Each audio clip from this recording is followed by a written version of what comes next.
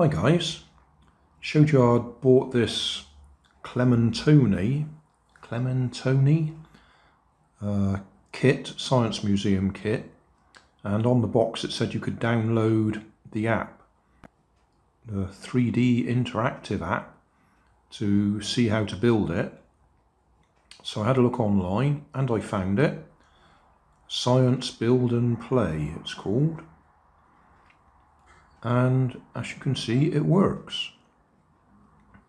It wasn't until I got to the end that I realised I could have uh, spun it around just by touching the screen so you could get a good look at what you wanted to see. And I'm playing it through here on the automatic step through whereas you can do it a step at a time. But yeah it seems to work. I'll let it run through so you can see it but I didn't use it because I couldn't use it and film using my phone at the same time. The instructions are absolutely fine, they're adequate. You just have to pay attention to what you're doing. But if you do get stuck, then you can download this app and have a look.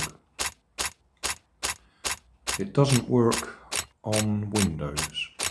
But other than that, it works on um, Android and whatever the Apple things work on.